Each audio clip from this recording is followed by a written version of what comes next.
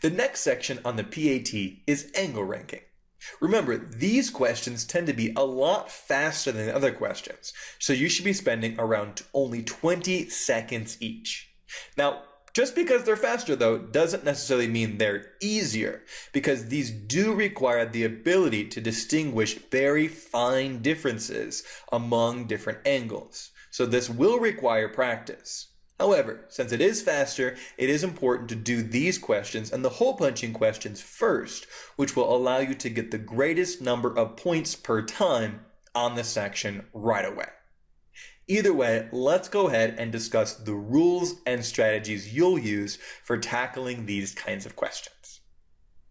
Just like for the rest of the section, you'll want to breeze right past the rule page because looking at it will eat into some of your time and you will already know all the rules before attempting any of these questions on your official test.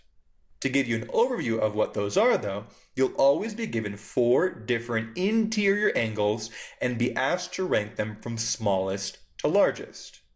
Be careful because oftentimes incorrect choices will include the opposite order of largest to smallest. I mentioned interior angles because for any given angle, you could actually look at it in two different ways. Let's say you have a 90 degree angle. Since that's part of a circle, you could also actually look at the outside of it, which would be a 270 degree angle, but that's never what you'll be looking at on test day you'll only be looking at the interior, smaller angle formed and never going at it from the opposite direction. And that's it. That's the entirety of the rules for these questions. You're simply ranking them in order from small to large. We do have several strategies to help you in tackling these though, because again of that fine difference and how difficult these can be. The first rule is always to look for the extreme angles, so the smallest and the largest. By figuring out which ones are extreme, you may be able to eliminate enough so that you never actually have to look at the middle angles, which tend to be a little more difficult to distinguish. Really, if any angle jumps out at you as being clearly the biggest or the smallest, you should start there. Once you've done some elimination with largest and smallest, the next step is to use blocking.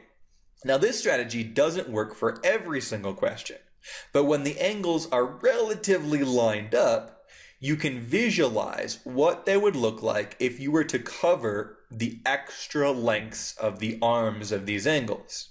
The reason why this strategy is beneficial is because it can actually be very distracting to have arms that are different lengths. For example, if you have one arm of your angle that's very short and one that's very long for one of the choices, but then for the second angle you have two very long, those actually can start looking different, but that's more of an optical illusion. And so by covering up that excess, you're putting all the angles in the same playing field, and you'll be able to more easily compare them. When blocking isn't helpful, another strategy is to use stacking. And this is imagining one angle stacking inside another, so that you have all four angles eventually into a nested system. This actually is helpful because it allows you to visualize how they relate to one another, but you can modify this in whatever way works the best for you. So for example, you can imagine the angles eating one another. So whatever angle is bigger gets to eat the smaller one, kind of like big fish eating small fish. So if you're thinking about which one could eat the other, that may be helpful.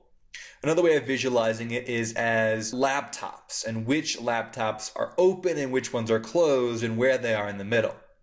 A final way that's similar to all of these is to imagine these as hands on a clock. So you can see the biggest difference among the hands.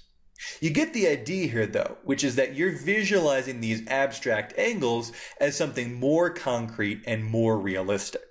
By using this, you'll actually find that it's easier to compare because you're looking at something that you look at every day versus something that's unique to the test and more difficult to visualize. Either way, you'll be able to customize all three of these strategies to be the most efficient for you so that you can quickly pick out the obvious pieces and use some visualization, whether blocking or stacking, to determine where the others lie only if necessary.